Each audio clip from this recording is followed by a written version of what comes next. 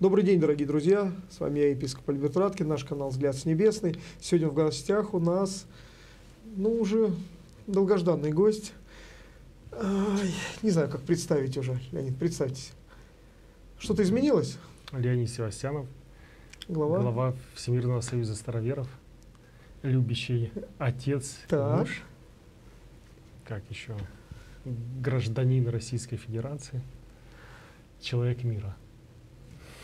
Вот, вот такой гость у нас сегодня. И сегодня мы хотим поговорить о вашей семье и о, о том, о вашей дружбе с Папой Римским. А, Для меня очень интересно наблюдать за вами, за вашей семьей, потому что мне кажется, вот по моему глубокому убеждению, что вы единственный россияне, кто каждый год больше всех россиян видитесь и встречаетесь с Папой Римским.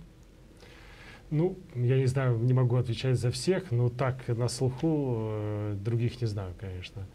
Э, Папа Римский, он, конечно, человек очень, э, с одной стороны, э, доступный, вот, но при этом очень э, избирательный в силу, ну, не, даже своего не статуса как папа, а в силу того, что он всю жизнь иезуитом был, у них э, своя логика в отношениях э, к людям. И, соответственно, конечно, в этом ключе эм, сложно, допустим, понять, почему именно мы часто с папой встречаемся и почему нас, так сказать, такой любовью одаряет. Но э, примерно, конечно, понимание есть вот этой логики. Это, кстати, когда, допустим, Светлане тоже пишут, почему вот Папа Римский вас произвел э, в дамы ордена, почему вы стали Кавалером. Ну, да. кавалером, да, то есть как бы рыцарское достоинство он вам дал. Есть же более достойные оперные певицы. Вот. Но это как раз люди э, спрашивают, которые не понимают, так сказать, э, менталитета не только папы, но и, э, можно сказать, священнослужителя такого ранга. А, тот или иной статус светский, он э, в каком-то смысле является а, чужой парадигмой. Ну, к примеру, допустим, люди хотят использовать бренды. Да, и э, богатые люди, в том числе наши, считают, что вот если они бренды используют, тем самым они подчеркивают свой какой-то Ну, статус. статус. Но на самом деле все, что человек подчеркивает, используя те или иные бренды, э, это то, что он на самом деле находится под чьим-то колпаком, входит в какую-то особую парадигму, в парадигму ценностей, в парадигму а, а, восприятия какого-то, так сказать, имиджа и так далее. Папа Римский же, он, можно сказать, стоит э, над этим, да, то есть э, в этом ключе тоже самое очень многие спрашивают, а почему он на Фиате ездит, а не на Мерседесе? Потому что если бы он ездил на Мерседесе, он бы показал, что он под властимущими, под людьми, которые определяют систему ценностей. Вот. Если бы Папа Римский выделял людей, которые ценятся, так сказать, в миру, это, в принципе, Евангелие об этом, да, что последние станут первыми. То есть Христос как раз говорит об этом.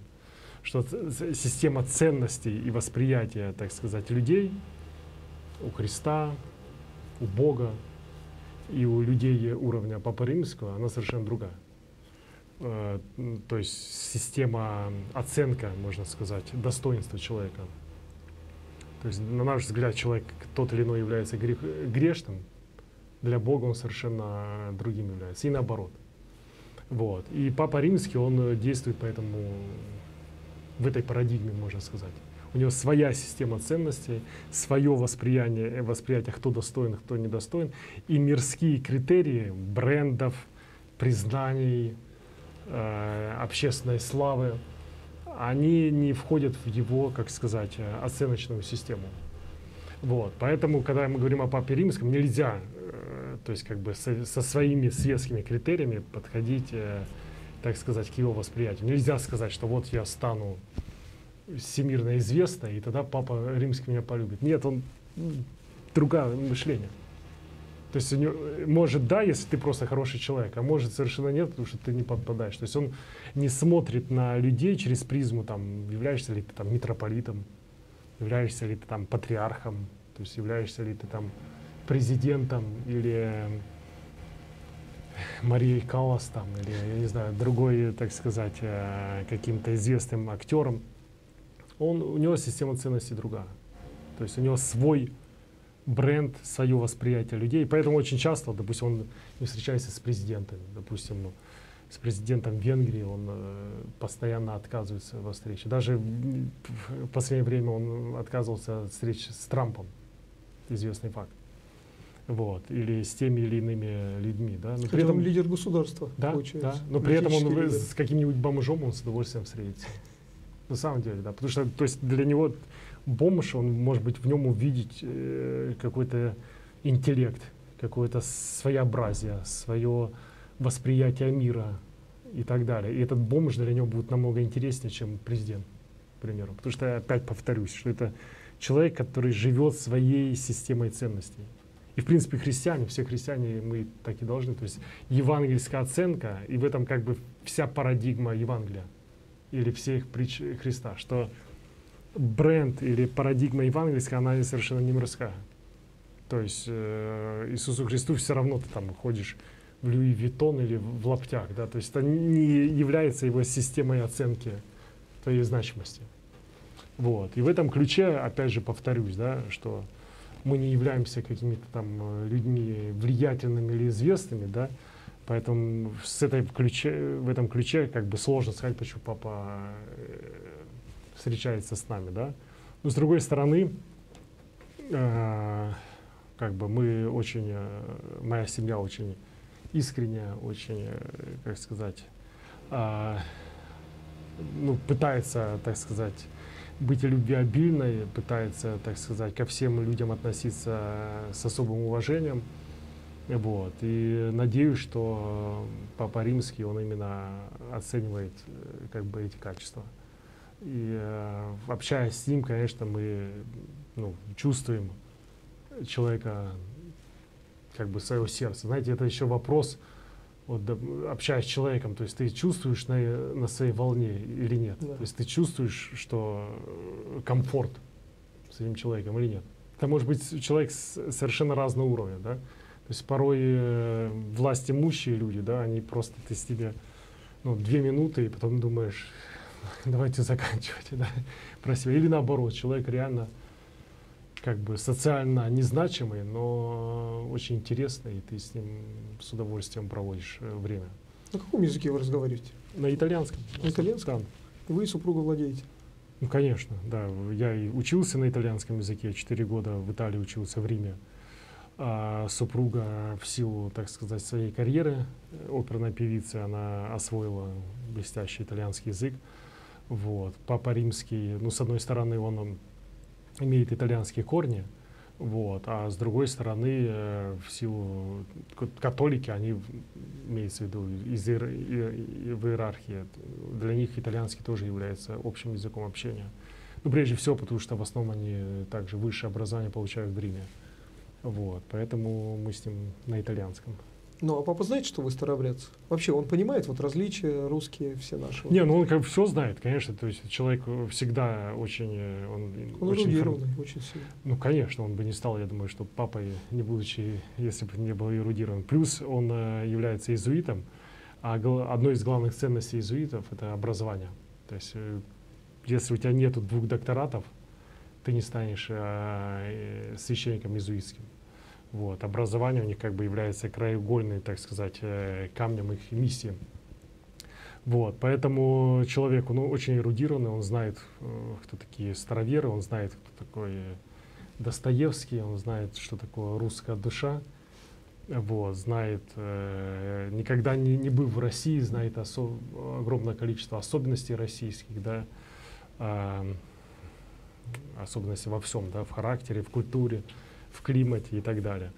Вот, поэтому в этом смысле, да, для него, наверное, это тоже является такой интересным фактором, что мы являемся староверами.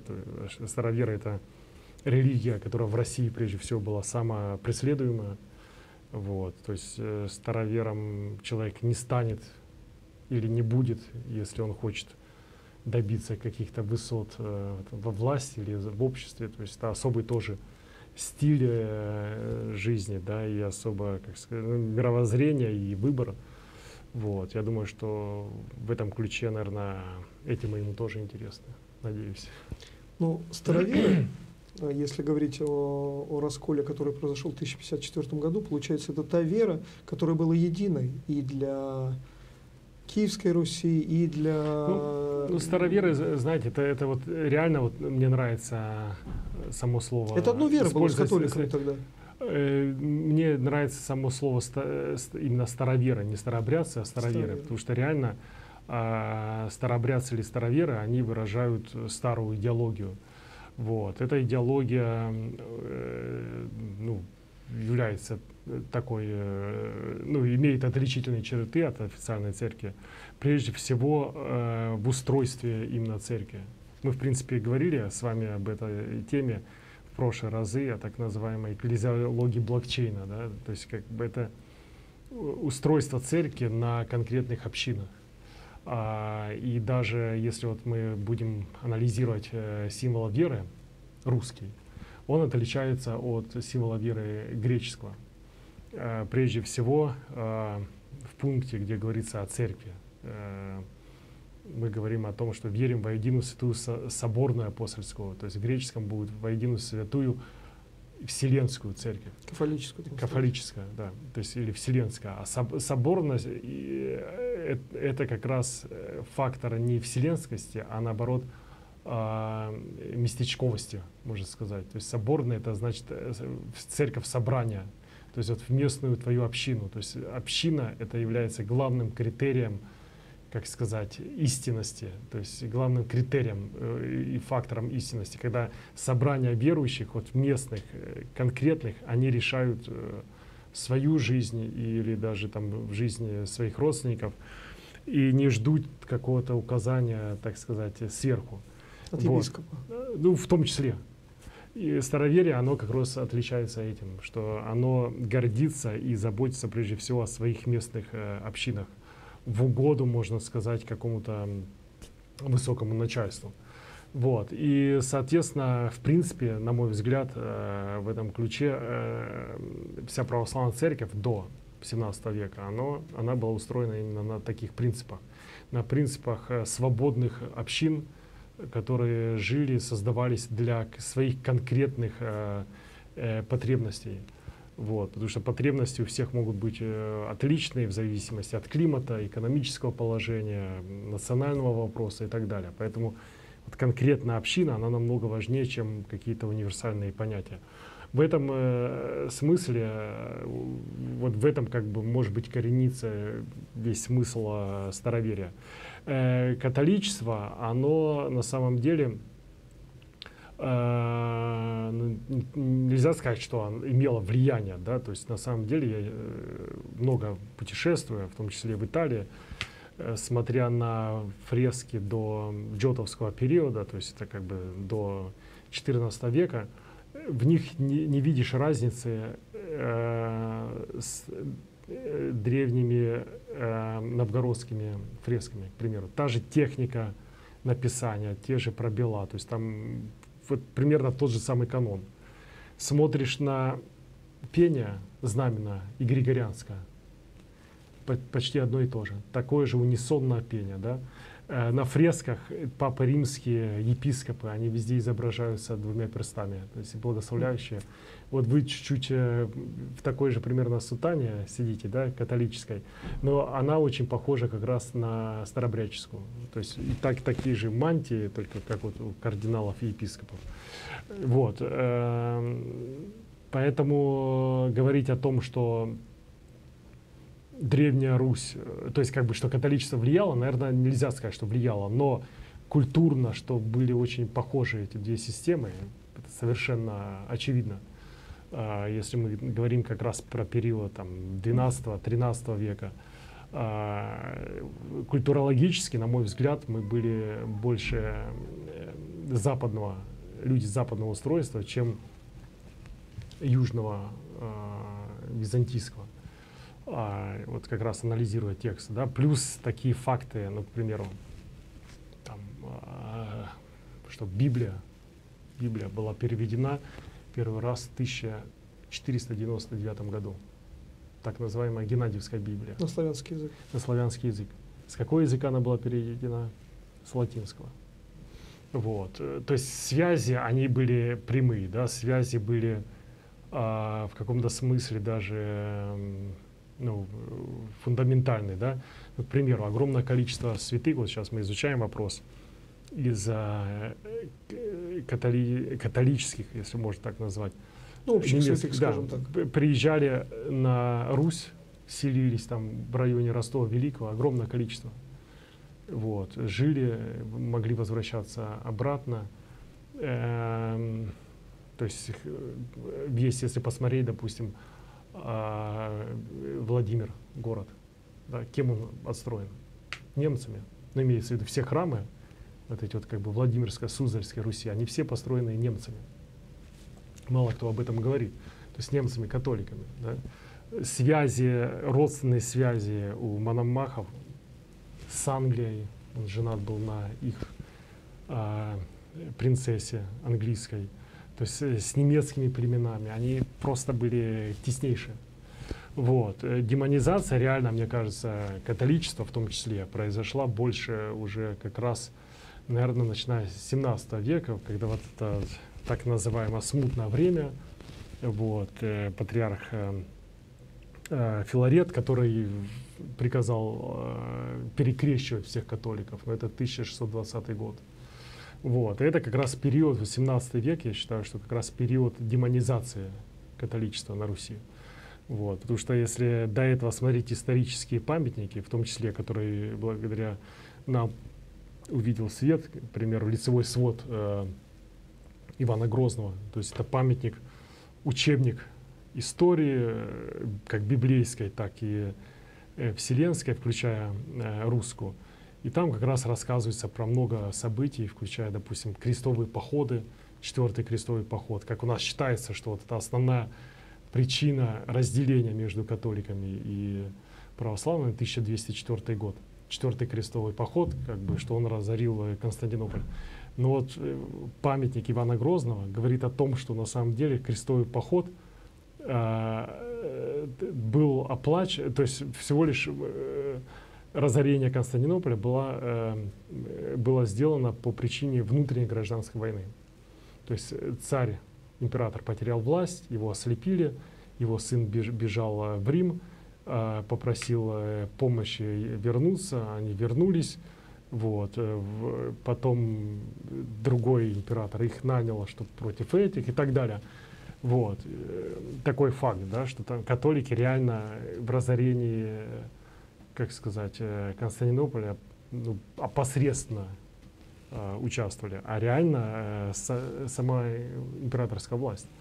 Вот. Или вот, допустим, такие примеры, вот мы любим говорить плохие вещи, допустим, там о немецких э, народностях, да, католических, там, тевтонцах и так далее. Тот же памятник говорит о том, что 1238 год, на Руси огромный голод, и э, летописец прям пишет, что если бы не, не помощь немцев в виде зерна, продуктов питания, мы бы все бы вымерли. И так далее. То есть я к тому хочу сказать, что в 16 веке еще, вот времена Ивана Грозного, как ни странно, да, казалось бы, Иван Грозный там антизападник, нет. То есть люди, они совершенно другого были менталитета. Тем более Борис Годунов, от кого, считается, староверы несут свою, так сказать, идентичность и то есть это люди, открытые к Западу, люди, которые напрямую не просто торговали, а имели и дома, и присутствие в той же в Англии, э, в Священно-Римской империи и так далее. И вот только 17 века, на самом деле, как ни странно, да, происходит вот эта демонизация, де, демонизация как Запада, так и католического мира. Но если посмотреть, что происходило со староверами, так называемая параллельная история России, да, а, то есть именно история старо, староверия э, после раскола. Даже история как бы гонений здесь внутри, и э, они разбегались по миру. И нет ни одного случая, примера, где они бы преследовались э, на территории католических стран. Ни одного. Не просто нет случая, а нет ни одного случая, где бы им не помогали. Вот, к примеру, факт. То есть они убегают так называемого, вот где сейчас Белокреница, откуда ведет э, начало Белокреницкая иерархия, Драгошская Слобода и так далее. Вот, они, эта территория была сперва Священной Римской империи. Они, им император по- дает землю бесплатно. Их, эм, так сказать, освобождает от налогов всех и от военной службы. Потом им помогает вместе с Папой Римским возродить э, иерархию. То есть не, э, вот мы любим говорить, что там о какой-то агрессии католиков, да, но очень часто эм, это единичные случаи, а больше как раз мы в истории мы видим больше сотрудничества. И вот в моем разговоре с папой мы как раз об этом тоже говорили, что вот люди, они как Сейчас последний раз, когда были? да, В январе, вот сейчас, да, буквально, да. что, Да, 20 дней да, назад, да, 3 да, недели да, назад да. Вот как раз мы об этом тоже много рассуждали, что люди сами себя детерминируют историей. Ну, конечно. пытаются. Вот они придумали, что вот там кто-то кого кому-то набил морду. И вот он живет и передает это поколению, сам себя лимитирует и заставляет жить в какой-то э, закрытой парадигме. То есть ему не нравятся исторические факты, где кто-то там кому-то помогал. Вот нет такого. Вот в истории мы только ищем мордобои. Не, ну есть в истории России, э, когда иезуитов-то их же гнали, и наш царь только принял их.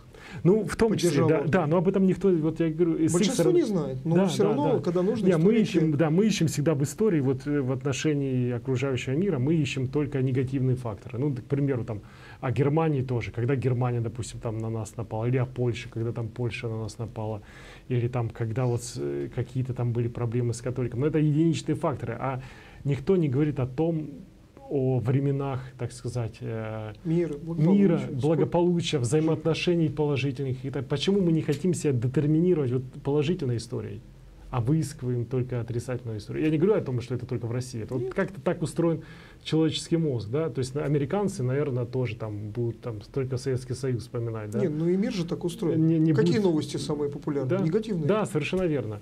То есть не будут вспоминать, там, допустим, помощь того же Александра II э, во время их э, гражданской войны, к примеру. Вот, и так далее. То есть люди вот любят почему-то только выискивать и детерминировать свой мозг, мозг э, негативными. э, Ну, давайте историями. к папе вернемся. Вот последняя ваша встреча, буквально три недели назад. да. Ну, эта встреча как-то планируется. Вам выделяется, например, ну, где-то вы получаете письмо, говорят, там 15 минут у вас или Не, 20. не, ну мы, не, у нас с папой, с вами не, особые с папой, отношения? с папой, ну опять же, я же говорю, я же не знаю, как э, особый, не особый, то есть у нас э, с папой отношения неформальные. То есть в том смысле, э, то есть я... Вы не представитель России, у вас нет никакого поручения от администрации Я, президента. я там. этого не никогда. Я никого, то есть на встречах с папой я никого не представляю. То есть они... Вы с супругой Да, просто я не выступаю там как глава староверов, я там не выступаю мандат там от Путина. Я, я просто Аленя Севастьянов, да. Вот, э, как папа говорит там по-итальянски, это Леоне, да, то есть как бы, э, в- то есть в, в ис- в испанском языке. Вот, э, Света, она как певица, да, и э, просто мы, то есть, э, ну, я не могу сказать, что там это назвать высоко, что это дружба, да, может о папе это неправильно говорить так, но вот внутри у меня, я, у меня отношение такое, да, к папе. Прежде всего, э, дружеское отношение, дружеские э, беседы, э, как со стороны Светланы, так и меня. То есть э, при этом э, с, ним очень всегда интересно, потому что он реально показывает интерес к человеку. То есть это реально видно, что это не протокол. Он- Очень многие говорят, ну вот он пиарщик. То есть, то есть это его стиль, э, вот он там на Фиате ездит, вот он там ходит пешком, вот он там может заехать в магазин, попросить. Это его стиль жизни. Он стал папой э, 9 лет назад. То есть сейчас ему 85, то есть тогда ему было 76 лет, понимаете? Всю жизнь он жил так. То есть всю жизнь он, э, вот будучи даже кардиналом э, э, в Аргентине, да, да. то есть у него была маленькая кухонька, он сам себе готовил, он сам... э, Я просто, на самом деле, я знаю, как же изуиты, вот их вымуштровывают именно вот таким условием. То есть э, я потому что в Риме учился, сам в Григорианском университете, вот я видел, как эти профессора заслуженнейшие. Ну и в Америке второй ваш университет тоже у иезуитов же был. Да, да. И вот они специально, вот это, ну, вот комнатка, где мы снимаем, это 2 на 3, там, 4 там, на 5, понимаете, одна. Вот компьютер обязательно, здесь все забито книгами, и такая аскетическая кроватка.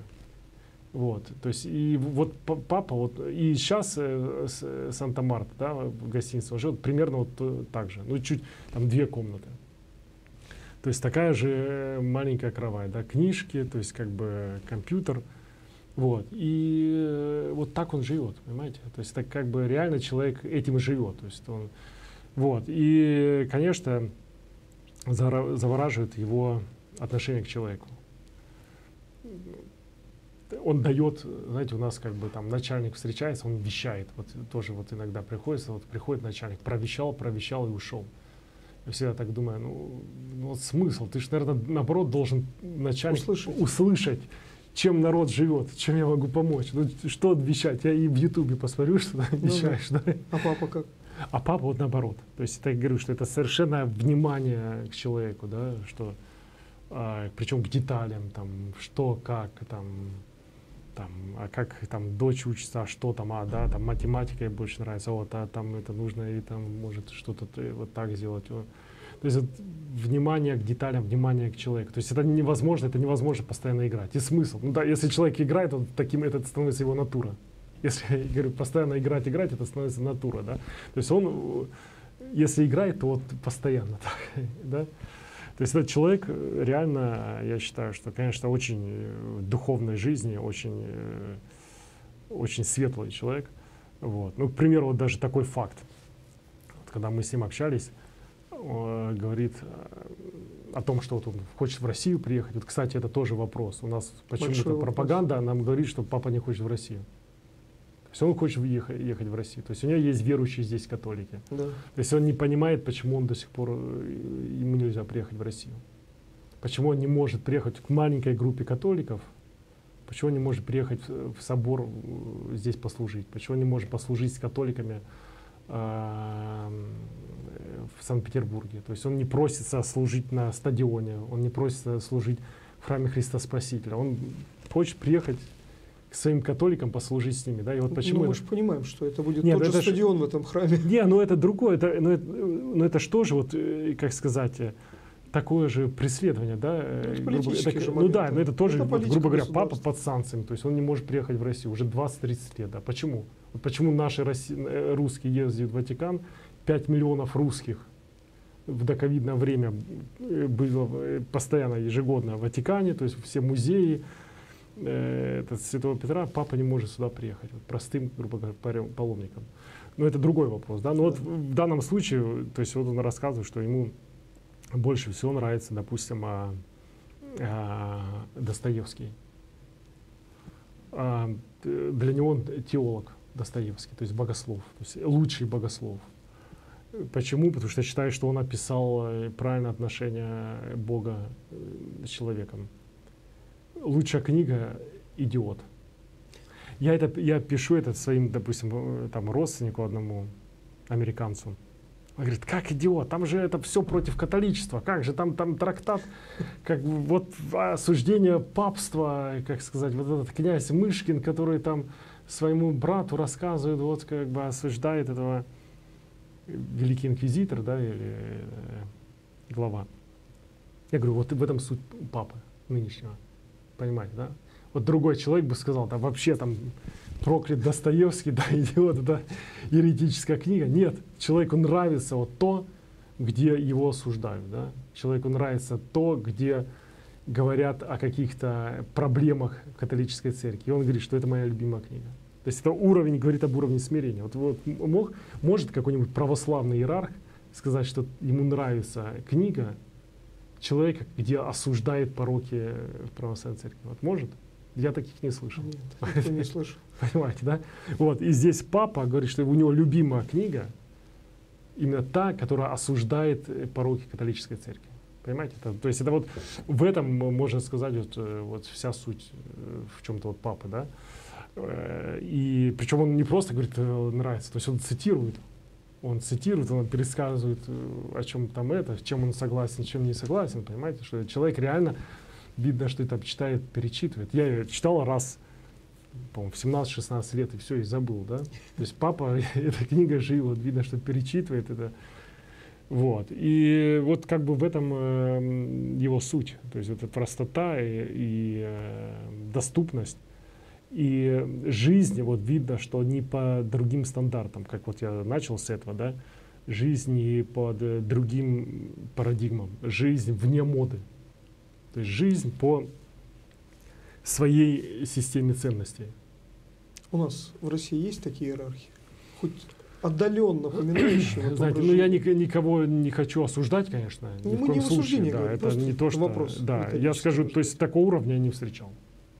Конечно. То есть Даже есть люди разные. старобрядцев, староверов. Ну, ну вот мне тоже самое, вот э, братья там осуждают, да, допустим, там сестра у меня такая очень э, ревнивая, да, Так. говорит, вот ты встречаешься там с папой С римским. вот». еретиком. Да, да, да, вот я говорю, я говорю, знаешь, вот я вот, вот АБЦ я смотрю вот на вас, да, вот как бы это, то есть я этого у Папы Римского не видел. Вот. Поэтому сказать, э, что там Папа Римский хуже, э, чем вот вы староверы, да, то есть я не могу. Потому что я вижу его стандарты жизни, я вижу его отношение к людям, Христианской жизни, Христи- прежде всего. Да, христи- отношение к людям, отношение к маленькому человеку, это самое важное, да? То есть отношение к ненужному для тебя человеку, не представляющий пользы для тебя никакой. И я смотрю на вас, да, грубо говоря, там, на вас, на других, да. То есть я не, не могу сказать, что, вот, что там Папа Римский, э, понимаете, да? Понимаю. Вот, к, к сожалению, ну опять же, это не- нельзя сказать, что, знаете, что у нас нет. Это те, кого мы знаем, нет. Да. А сколько людей, я считаю, что огромное количество святых, их просто не упоминают. Потому что вот как раз эти стандарты моды, они выпячивают людей, которые э, соответствуют их бренду. Вот, а людей, которые соответствуют евангельскому бренду, они э, не нужны. Очень интересно, в евреях послании написано в 11 главе, где перечисляются все герои веры, как мы их называем Да. в протестантской среде. Да. И потом там в конце написано, что есть еще те, чьи имена не попали сюда. Те, которых весь мир недостоин. Не, а вот, э, вот по христианской модели, да, наоборот.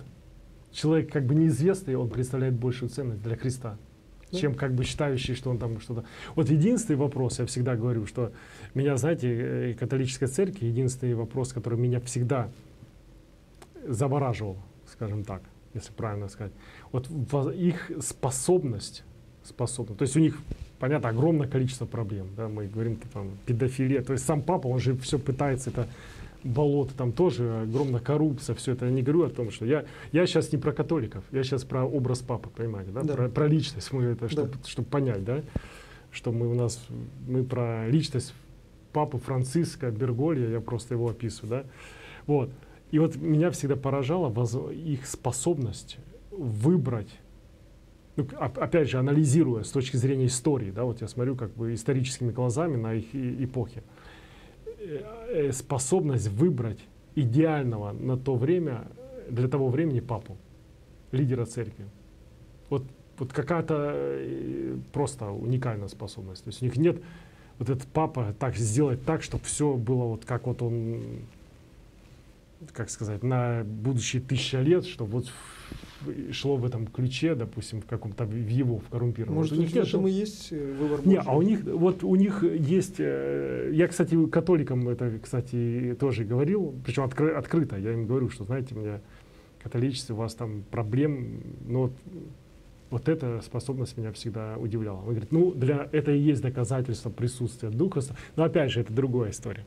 Ну, вот, к примеру, да, вот я привожу там, допустим, вот этот папа, то есть вот скандалы с Бенедиктом начались там. Ну, сам Бенедикт, я считаю, что вот в- на это время было 7 лет идеальное. Вот по- после периода э, Иоанна Павла II, Бенедикт 7 лет были идеальны, чтобы как бы опять вот продвигать э, традицию, да. Вот. Он понимает, что начинается какая-то движуха, уходит, понимаете, не цепляется за власть. Ну, представьте, да, вот император, он как бы не ограничена власть. То есть человек с влиянием, ну, наверное, там, я не знаю, с кем сравнить. Вот человек сам все это отпускает, говорит, я ухожу, да?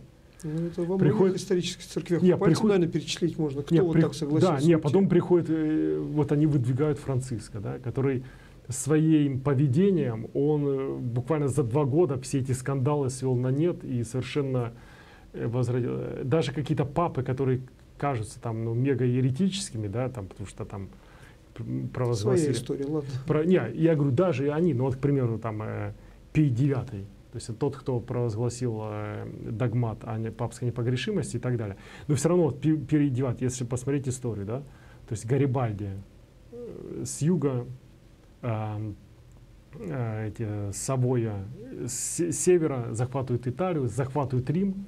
То есть вот символ э, католичества падает. Ну, казалось, все, церковь заканчивается. Понимаете, да? То есть Рим это был основной символ, здесь казалось, все падает, да? Причем они не собираются этого папу ничего делать, просто он, наверное, должен был провозгласить, что он становится просто типа а патриархом Италии. Все, это началось бы национальные церкви везде и так далее. То есть папа говорит, нет, я становлюсь добровольным узником Ватикана. Вот он запирается в этот Ватикан, маленький квартал, да, и 60 лет они там, 60, да, они там сидят э, без возможности выходить оттуда.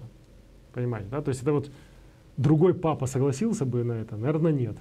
Вот в этом смысле я говорю, что вот, вот каждая эпоха у них а, а вот способность выдвигать э, нужного, самого нужного папу на тот или иной момент. И поэтому, Который конечно, видит роль папства в истории. Ну, не, а поэтому ну, вот они, вот если посмотреть 2000 да. лет, вот да. понимаете, это самый институт, потому что другие даже церкви, они просто, ну, так же вот Константинопольская, ну да, была, что с ней стало, да, там какие-то другие национальные, там Александрийские, а вот э, реально э, церковь, которая там 2000 лет, и она вот путем способности выбирать нужного человека, не коррумпированного, да, вот нужно, ну, может быть, даже в чем-то, ну, вот именно идеального для этого времени. А они вот этот институт в любых ситуациях, то есть как они там Вторую мировую прошли без э, потери там этих э, э, имиджевых, да, потом в советское время, ну, в советской атеистической литературе всегда папа врагом номер один был. Нет, да, но при этом они выжили, понимаете, да? да. И вот меня вот всегда поражала их способность э, выбирать лидера. Вот это, то есть другие вопросы можно критиковать э, бесконечное э, количество времени, да? Ну, вот. Но вот я к тому, что вот Франциск, он, конечно, вот его личность, она завораживает простотой совершенно такой естественной. Как он выбрал вашу супругу, известную оперную певицу, среди вот такого богатого выбора оперных певиц и певцов? Почему? Ну, с, с одной стороны, знаете... Я, я знаете, вот смотрел, да, да ну, что-то о вашей супруге, слушал угу. тоже. Очень интересно. И папа знает все, все ее да, да. Э, роли, да, с, да. где она выступала, какие оперы поет, что. Да, да. Почему он ей интересуется? Ну, с одной стороны, он на самом деле интересуется оперой, да. Так. Он э, еще живя в Аргентине, э, все постановки новые в театре Ла Колон, это э, Буэнос-Айресе, он всегда посещал. Мама ему в детстве напевала оперные ари, да, то есть он как бы реально слушает оперы, диски, он такой меломан, как бы, оперный, да. Почему именно Светлану, э, если она не является там ну, не католичка, ну не, не католичка, там не по известности там не трепка, да. Ну вот я считаю, что именно из, потому что он папа, то есть в том смысле, что он, у него совершенно другие критерии оценки. То есть он смотрит на человека, ну, во-первых, конечно, на талант. То есть без таланта, но с другой стороны, талант это общий равный, да, грубо ну говоря. Ну да, то, что дано Богом. Да. Вот, э, смотрит, понятно, на талант, а потом на личные какие-то качества. То есть Светлана на самом деле очень э, человек очень открытый. Очень Она рассказывала ему с, историю своей жизни? Не, он, э, ну да, в общении, конечно, он знает. Он знает? Да, да. То есть Где ее... родилась? Сколько? Да, не, он, конечно, он как даже пробивалась и, наверх? и передавал ей, э, и передает через нее привет и грузинам, и э, курдам, и зидам, то есть где каза, каза, казахстанцам, где она была, он всегда через нее передает привет. Вот. Ну, с другой стороны, вот другой вопрос, почему он ее выбрал для коммуникаций, да. грубо говоря. Вот. Э, потому что Светлана в каком-то смысле, она является, можно сказать, э, скажем так, послом доброй воли папы, да. То есть она всегда, э, ну, в каком-то смысле, она его, скажем так, незримо присутствие, если можно этим назвать. Вот, при этом это женщина, да. При, ну, это, это все, это нужно понимать папу, да, почему. То есть это вот то, что казалось бы у людей э, самые противоречивые вещи, вот грубо говоря, там тоже говорят, вот, там какие-то фотосессии, она где-то... Э, то есть это не критерий для папы, понимаете? Вот, то есть папа, Лучше он зрит... да, вот, то есть папа это вот пытается, то есть вот образ Христа, то есть загляни в сердце, загляни на сердце, прочитай, что написано в сердце, да. То есть все остальное это шелуха, все остальное оно ни о чем, ничего не значит, да.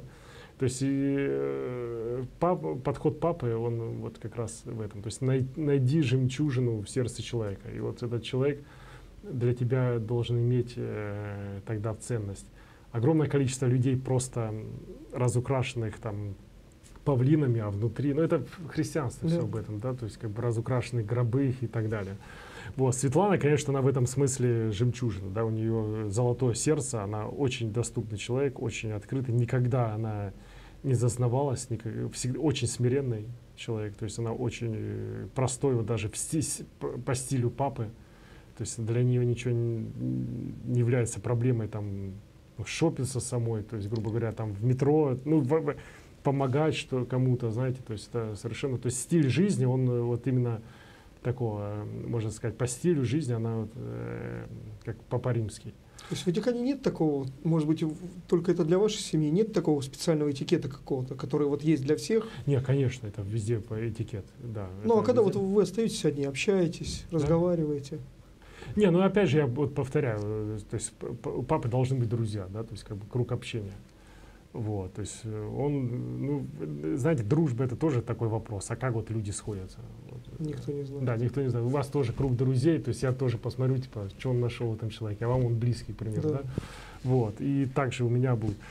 Вот, и у Папы Римского, наверное, многие как раз, да, там, заслуженные люди, они в этом смысле, конечно, нам сложно, что очень много вот этой зависти, которая, типа, а вот что он вот во мне не нашел, а вас нашел, да. Но опять же, мы не смотрим это на, как на какую-то, знаете, э, как какое-то доказательство своей исключительности, совершенно нет. То есть, опять же, мои, наши отношения с папой, они, э, можно сказать, э, семейного уровня. Вот. То есть они не говорят о том, что он нас там возвышает над другими, и мы на это не претендуем. То есть это вообще наоборот. То есть я вот после э, встречи с папой, почему это важно, вот как бы хочется наоборот быть Смирение. ниже, да, ниже, то есть как бы ты, ты понимаешь, что, как сказать, вот, э, понимаете, вот очень часто христианство, оно вот рационально не понять, да, его, вот, это, об этом же оно и говорит, да, что для умных оно безумие, да, то есть его нужно чувствовать. Вот как Интересная бы... мысль у вас. Католиков всегда в рационализме обвиняют. А вы говорите в рационализме, что не... это очень рациональная религия, а вы говорите о других сторонах католицизма. Не, я имею в виду с папой вот общаешься, то есть и ты вот видишь ну, вот это как бы смирение при такой огромной власти, вот, то есть как бы вот этот, ну вот прежде всего на стиль жизни, да, и ты вот выходишь и понимаешь, типа, на самом деле, что все вот эти ценности, ради которых там человек э, жизнь свою тратит, там всякие Мерседесы непонятно, никому не нужны, да, там Луи Виттоны и так далее. И все это настолько прах ненужный, вот. А то, что ценно, народ не замечает, и жизнь так э, пролетает, непонятно для чего. И в этом смысле, конечно, Папа Римский в этом смысле, конечно, вот э, дар просто человеческого общения.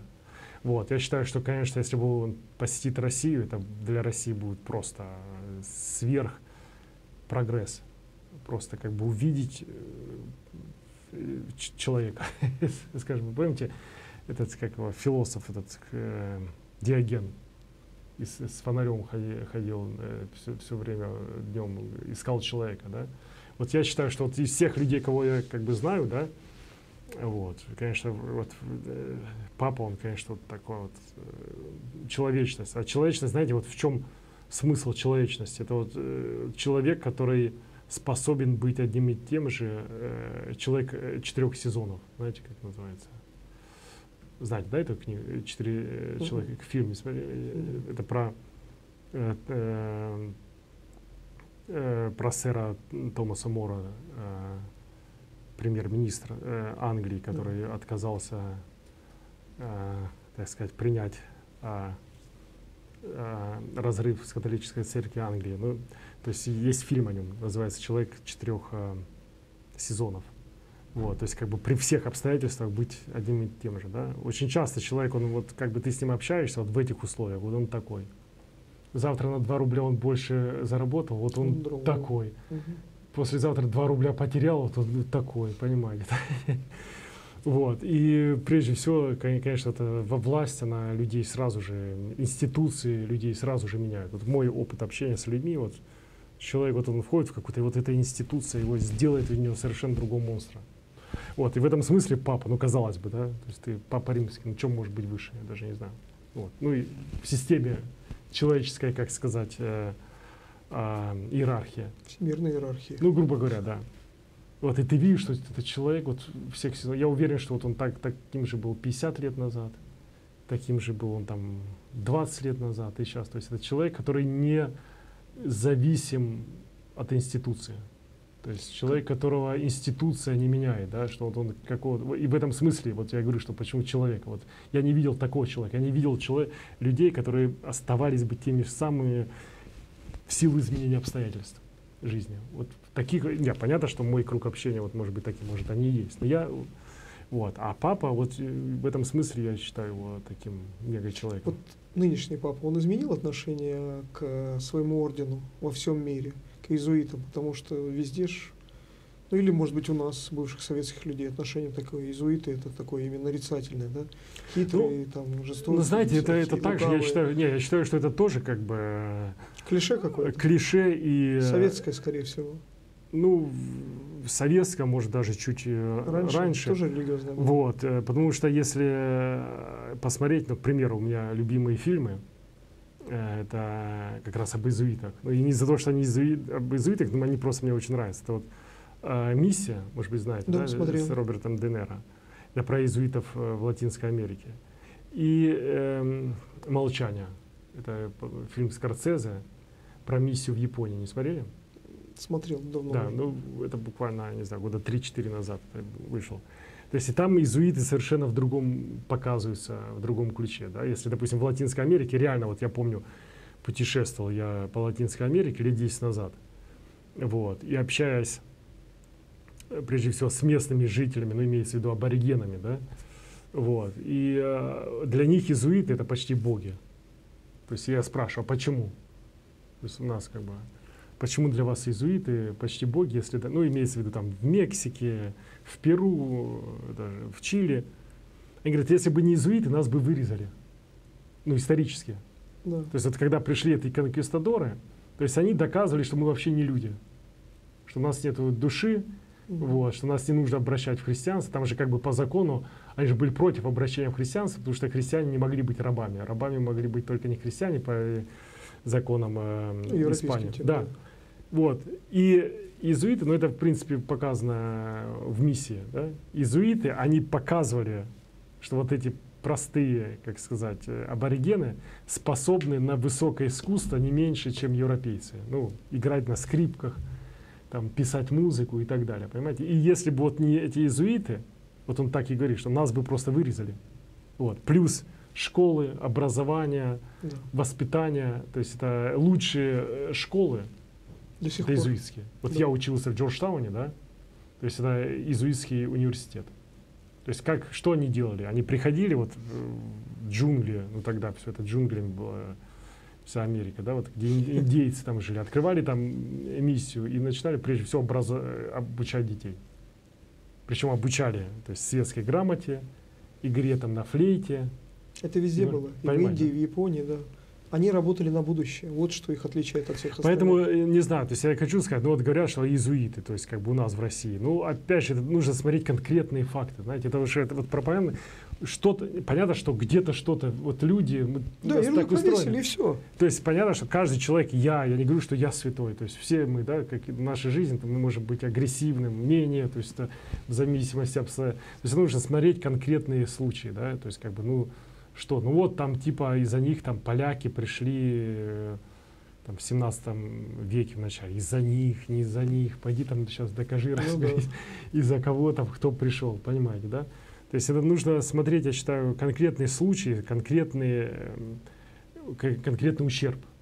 То, то же самое, когда мы говорим там про гонение сейчас на сектантов, то же самое, да, там на любых в этом смысле я не говорю там вот, католики, любые протестантские, даже не христианские, там любые, да, там те же, вот я упоминал вас, саентологи, например, да? да. То есть вот клише вешается, вот секта.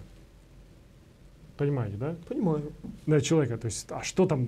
А никто разбираться не хочет. Никто не хочет, да. Зачем? То есть, а, а там семья, а там люди, а там это их менталитет, а там это их устройство жизни, а там их будущее, понимаете, там их даже какие-то заработки и так далее. И как все, все зачистить, все это. И дальше что, то есть судьбы людей исковеркали, кому пользу принесли, непонятно, потому что никто, я не знаю, кто от этого какую-то пользу поимел. И да? никто не измеряет ее никогда. Да, да. Результат-то не, не А измеряет. может только конкретный случай. Если да, кто-то что-то сделал, бери его сажайкой за конкретные провинности. Там человек. Я могу понять, что там верующие люди так, также могут, вон, тех же католиков, педофилы. Вы же не запрещаете всех католиков, потому что из-за священников педофилов. Да? Вы берете конкретно. А в России не запрещают же Или, православие. или в России Вот предоставляете. смотрите, всех вытолкнули из тюрем, из системы. Никому не дают. Говорят, у нас в тюрьмах сидят православные, убийцы, насильники, все остальные. Никто не запрещает православие. Что большинство тюрем России набито православными. Да, да. Никто же не Запрета запрещает. нет, Да, именно. То есть или священник, там вот тоже самое священника, и уже нескольких вот так на, уме, на слуху, то есть Да, за, педофи- за педофилию посадили. Ну вы же не запрещаете РПЦ, ну что у вас там Да. это. То есть вы берете конкретно, что и так и, ну, так Так и нужно, есть. да. Преступник, да. он человек, это да, не да, церковь. то же самое вы берите, если там вы называете это сектами, да, грубо говоря. То же самое, бери за конкретные преступления. То есть если человек, то же самое и здесь, вот вы говорите, клише, иезуиты, все иезуиты плохие, вот он иезуитом или это. То есть за конкретно где, что, когда, вот берите факты, изучайте. Если человек там согрешил, призывайте к покаянию. Если он там преступление совершил, сажайте в тюрьму также. То есть, ну, вот. А иезуиты, э, то есть, Знаете, если- Изучая миссиологию, да, как миссии распространяются, Да. протестантские первые, католические тоже очень интересно. Это факт, в многих книгах описан, но редко кто ну, берет это себе. Я увидел одно, что многие авторы пишут, что какую бы страну ни пришли, там уже были иезуиты. Ну- я, я Японии читал, это потрясающе, что да, всех вырезали, никого не пускали, убивали моментально Да. европейцев. И когда пришли первые миссионеры, когда там правители Японии допустили, оказалось, там уже иезуиты многие Да. годы. Да, да. Не, ну вот они, у них вот это вот качество, я не знаю, иезуитов, они прежде всего э, занимаются образованием. И э, еще у них есть мобильность из-за того, что они, с одной стороны, это орден, но при этом у них э, воспитывается здоровый индивидуализм. В том смысле, что ты сам на месте должен принять правильное решение, даже вне зависимости от, от- от того, что тебе начальник скажет. Это вот как раз эта тема раскрыта э, в фильме Скорсезе про, иезуит- про иезуитов Японии э, «Молчание». Советую зрителям посмотреть. То есть даже тебе начальник что-то, э, если говорит, но если ты считаешь в соответствии с твоим восприятием христианства, учения христианского, что нужно поступить так, то есть ты поступаешь так. То есть и это дает, конечно, огромно, с одной стороны, их очень сложно ими манипулировать тогда, да, потому что э, иначе бы там начальника заменить и всем раздать правильные указания, да, это невозможно. И с другой стороны, это дает э, мобильность. И вот этим объяснимо, можно сказать, их э, успех. Но с другой стороны, понятно, что сейчас э, они тоже говорят, что э, кризис, так сказать, призваний, вот, ордена, да, они ордена все сокращаются, но это объяснимо очень разными факторами. Ну, прежде всего, вообще общей секуляризацией да, Общество, процесс- да. общества. То есть, если там ра- раньше понятно, что в школе, если преподавали там э, э, завет Божий, да, там с детства, и какой-то процент из этих студентов хотели стать священником, да, то сейчас это все упраздняется, соответственно, э, как бы вот я считаю, что прежде всего из-за секуляризации общества, конечно, призваний у них меньше, но это повсеместно, и у православия меньше, и у протестантов, я считаю, Везде. что христианство, оно в каком-то смысле, с одной стороны, кажется, сдувается, но с другой стороны, вот я тоже об этом общался, э, с другой стороны, оно как бы очищается, знаете, потому что раньше христианство, оно брало на себя много других функций, которые не совсем э, соответствуют э, христианству как таковому. Ну, к примеру, допустим, то есть э, церковь, оно там регистрировала браки, там э, вела учет там смертей, Смертей, и да, все да. это, понимаете, да? То есть это она, то есть это, грубо говоря, вы- выполняла функции медицины, коммуникаций, интернета современного, понимаете, да? И в силу того, что сейчас новые технологии появляются, то есть люди, которые интересовала церковь именно этим, они, понятно, пошли с новыми технологиями. А люди, которых интересовало э, именно богословие, Ну, глубина внутренней глубина, жизни. они остались, понимаете? Вот, поэтому нельзя сказать, что церковь э, христианская сокращается. Наверное, она больше, можно сказать, очищается, что вот народ, который был, так сказать, э, церковь ради других каких-то А, Вот мы с вами перед эфиром говорили, что вот гонения были, как-то объединяли, и вера чище была, и все. Может быть, это современные гонения, которые мы еще не осознали, о которых не говорим? Вот именно гонения на уровне разума. Вот секуляри... ну, мир вот этот вот, он как раз и диктует вот эти все вещи. Ну, с другой стороны, знаете, мне вот э, этим, э, вот как ни странно, да, может быть, это звучит не по-православному, но мне э, вот такой мир, он больше нравится. Объясню почему. То есть этот мир, он дает главный, главную христианскую ценность. То есть это свобода выбора. Понимаете, да, что все-таки христианин должен сам решить, я хочу быть христианином. Это не должно быть, потому что общество так говорит. Это не должно быть, потому что вот в школе так только говорят. Это не должно быть, потому что там мама с папой так хочет. Понимаете, да? То есть это должен быть свой осознанный выбор. Даже вопреки. Понимаете? Даже вопреки.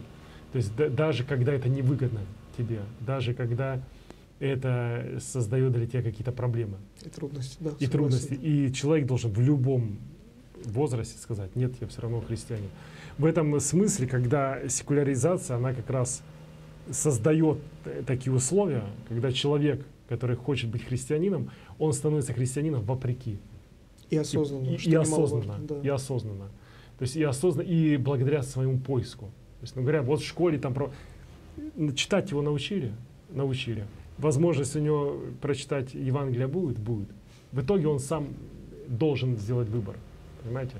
А не кто-то за него, и потому что это наша э, традиция, и потому что это наши традиционные ценности, потому что это там в Конституции запишут, и вот он поэтому обязан быть христианином. Нет, христианство это другое. Христианское, э, христианство это не политическая идеология. Христианство это не философия, не э, патриотизм. Это, это, вот опять же, я говорю, что сокращение христиан, потому что в шелуха отпадает. Вот я хочу также сказать, вот христианство это не патриотизм, это не политика, это не экономика. Христианство это христианство. Вот. И люди, они должны быть христианами, потому что они вот верят в это, эту книгу. Они верят этому человеку, Христу. И тем людям, которые как-то пытаются быть похожим на Христа и показывают нам его образ. И мы влюбляемся в этот образ и говорим, мы хотим быть такими же. Вот христианство это про это. Слушайте, я вот слушаю вас, да? Может, заключение уже, не знаю, мы давно в эфире, не знаю, сколько нашим зрителям, извините. А, такое впечатление складывается у меня, вот я сейчас читаю в последнее время Максима Исповедника, хм. что у вас, как у старообрядца, ваш образ церкви христианской, и двое или трое, вот общинность, очень близок к идеям и Конечно. книгам Максима да. Исповедника. Оно, оно совершенно верно. То есть оно, э, старобрячество, оно близко к Максиму Исповеднику, оно близко э, вообще к идее монашества. То есть когда реально, то есть для монаха это э, твоя личная ответственность, твоя связь прямая с Богом – намного важнее, чем то, что наверное. структура, которая тебе сегодня говорит одно, что сегодня греки хорошие, завтра что они плохие, а послезавтра с католиками общаемся, потом не общаемся. Тебе это надо. Ну, да. То есть у тебя есть Бог, у тебя есть связь с Ним, у тебя есть э, то есть ты понимаешь, что ты сам родился, что сам будешь умирать. Никто тебе, когда будешь умирать, никто тебе не поможет. Никто, никто не будет за тебя, никто за тебя этот опыт, э, как сказать, не разделит, да. Вот, соответственно, и нужно так себя готовить, да, что ты в итоге сам рождаешься, сам умираешь, сам несешь за себя ответственность. И создаешь э, ту общину, и общаешься с теми людьми, которые тебе помогают становиться лучше. То есть те люди, которые, с которыми ты видишь, что ты даже, может быть, богаче становишься, но при этом беднее душой, меньше с ними нужно общаться. Старобрячество, оно про это. Оно как раз в этом смысле категорично. Слушай, да? ну и Христос про это. Про Христос узкий про путь. Это. Да, да. И Почему церковь должна быть про это. И в этом смысле свой и церковь путь. должна быть про это. И поэтому староверы говорили, мы и есть церковь. То есть мы, да, да нас меньше, трое. нас меньше, мы это понимаем. Да, мы в изгнании. Вы считаете, что мы там необразованные, там олухи, не мыты это. Ну мы, ну мы церковь. Потому что мы как раз по другим критериям живем. Мы по другим брендам. Для нас важны другие бренды. То есть не золото, не кареты, там, не, не перья там, разноцветные. Понимаете? Мы живем другим. Понимаете? У нас другие система ценностей. Вот. И в этом смысле, да, старобрячество это и есть э, церковь. То есть оно устроено по-разному, оно э, устроено одни даже... Старобрячество, в чем даже его ценность, да, он уже показал, оно показало, что иерархия, как ни странно, это для многих будет теоретически, иерархия вторична. И староверы это показали. Они 200 лет вообще без иерархии были. И запросто справлялись и процветали. Потом, когда сказали, иерархия нужна, они восстановили. Слушайте, Понимаете, ну да? это общехристианский взгляд. Вот, То есть, куда то это есть иерархия это церкви? вторично. Взгляд на Отечество. Первично твоя Леонид. община, первично ты сам. Куда уж, ушел вот этот взгляд на Отечество? Что наше Отечество не российское, не украинское, не американское. Наше Это, Отечество да, небесное. это, кстати, кстати, этим вот тоже нужно, я бы не хотел бы этим заканчивать. Нет, ну, Нет, я хотел бы вот как раз э, вот э, вопрос, э, вы вот сейчас заняли, начали, это тоже очень важный вопрос. Вопрос, тем более сейчас, вопрос миротворчества. Вот сейчас Да. папа провозгласил вчерашний день, день молитвы За за, Украину. за Украину, Да. за мир на Украине, да. Вот. И очень тоже ты смотришь, вот так анализируешь, о чем вот говорят иерархии. Это вот ни одной строчки о мире, ни одной э, строчки э, там э, о призыве там, к диалогу, там, к какому-то Ну, миру. Наоборот, одна войнушка. Ну, Понимаете, это же одна, показывает одна современное состояние церкви. Не, я, я как бы, я как бы не одно дело. Не, одно дело, когда это армия делает, но это они должны, ну, грубо говоря, ты ради этого, ну, это профессиональная деятельность, да, армия должна это делать там. Одно дело там спецслужбы, наверное, ну, если ты церковь, наверное, твоя другая задача. Может быть, те органы спецслужбы, которых вы сказали, они уже в церкви. Ну, это другой вопрос, да, это я... это- Управляют я и это- православными, и это- это протестантами. не зна- да, но это дру- другой Другой. вопрос. Вот, но я просто о том, что церковь все-таки, она э, должна быть про мир.